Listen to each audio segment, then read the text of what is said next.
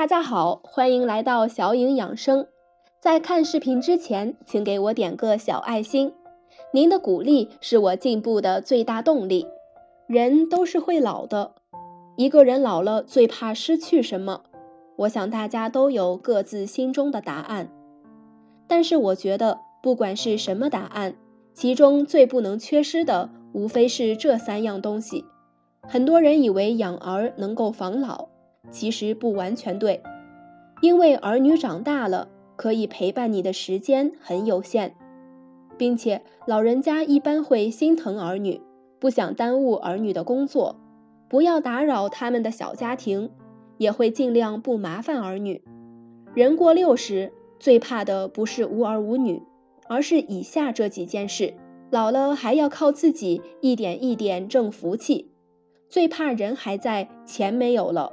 记得有一个笑话，有人问人老了最怕什么，有人答最怕钱花不完，人就没有了。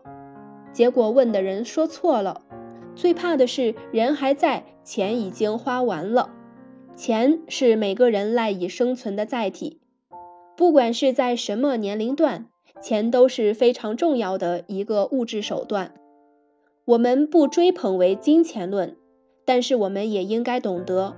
钱虽然不是万能的，但是没有钱却是万万不能的现实道理。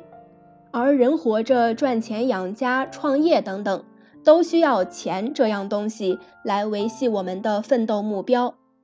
辛辛苦苦赚一辈子的钱，不就是为了老了不依靠谁，可以自己出钱养老吗？如果没有钱，老人也没有底气，说话都小声点，别人会看不起。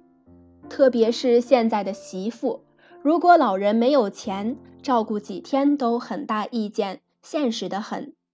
很多儿女看在老人还留下很多财产的面上，才照顾老人。特别是儿女多的家庭，老人有钱，大家争着去照顾，希望从中得到一定的利益。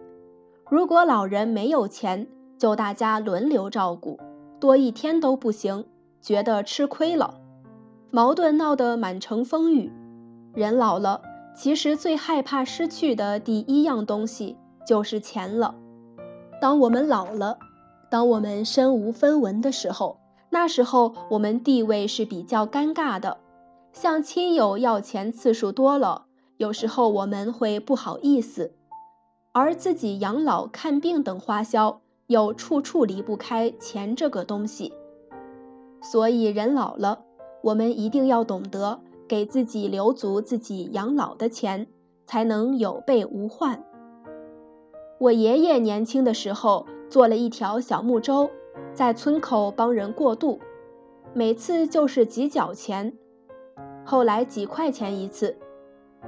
他一辈子节衣缩食，老了还留下很多钱。现在他和儿女住在一起。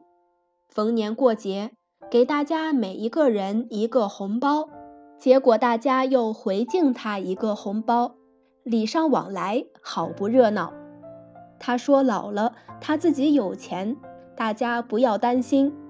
这样的话一说出来，几个儿女就更开心了，因为没有了养老人的经济负担，不要大家凑份子来养老。钱不是万能的。但老了没有钱是很困难的，有的老人无依无靠，儿女每个月给几百块钱，都得看媳妇和女婿的脸色，甚至都要不到，还互相比较，觉得自己吃亏了。这样的日子，老人一点也不好受。因此，人过六十，有钱是你做人的底气。别真的把自己的钱都给了儿女，特别是儿女多了，给钱不均匀，会导致矛盾更多，自己做人也更为难。老年人离退休后，会因为不用上班，远离了社会生活，会因为子女独立成家，成了空巢家庭，会因为行动不便，逐渐和亲朋好友疏远。所以经常感到孤独，老年孤独的危害极大。有专家研究认为，孤独的人得病的概率要高，还容易产生悲伤感或抑郁情绪，成天精神萎靡，久而久之会转化成严重的抑郁症，甚至有轻生的念头。少年夫妻老来伴，人过六十，如果身边没有了伴侣，是孤独的，特别是有病痛的时候。喊天天不应，喊地地不灵。亲爱的朋友们，视频已经看到这里了。如果觉得我的视频对你有帮助的话，那么就伸出你的发财小手，给我点个赞呗。您的每一个点赞和留言，都是对我前进最大的动力。在这里，真心感谢您了。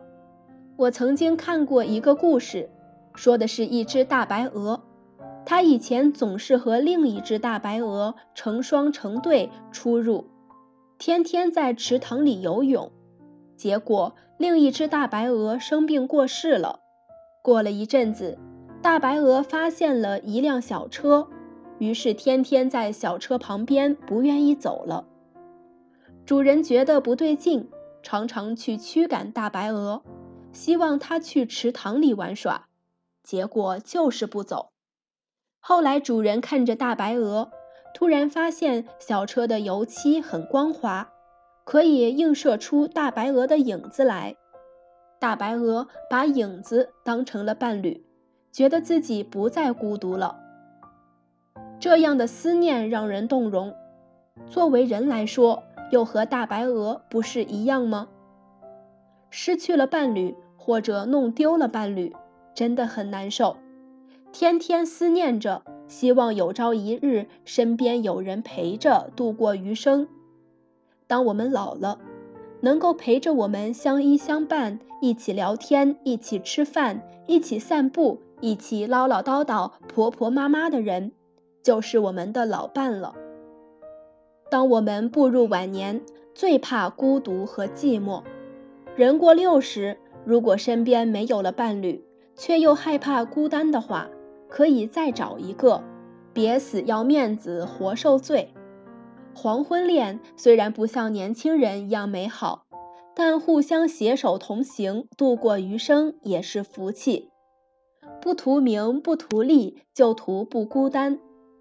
当然，如果不想再找，老年人也可以自己打破孤独，经常走出门户和老朋友聊天，散步逛公园。都有健脑健心的效果，易于延年益寿，更多的融入社会，就能够远离孤独寂寞之感。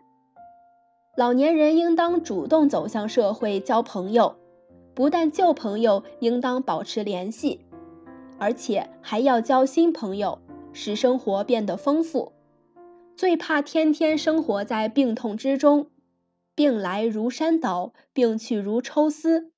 这是形容病痛的难处。如果是老年人，病痛要消除会更难。常常看到老年人摔倒了，几个月都不会好，骨折的地方几年都会痛。对年轻人来说，摔个跟头一般不算事，可是老人如果摔一跤就是大事，很有可能从此卧床不起，甚至不幸逝世。因此。从医生到老百姓，有个普遍的共识：老人经不起一摔。数据显示，我国每年因跌倒造成伤害的达两千五百万人。老人一旦摔倒，长期卧床，不但会加速身体衰退，还会引发焦虑、抑郁情绪，严重影响老人的身心健康和生活质量。人过六十要服老。不要当成小伙子一样了，特别是看到有同龄人坐在轮椅上，那滋味真的不好受。健康是福气，是最大的财富。老了失去了健康，再多的钱也没有用，再大的房子也住着没有温暖。人老了，好好锻炼身体。并且注意，从中年人开始就养生健身，善待自己。好了，今天的视频就分享到这里了，感谢您的观看，我是小影，我们下期再见啦。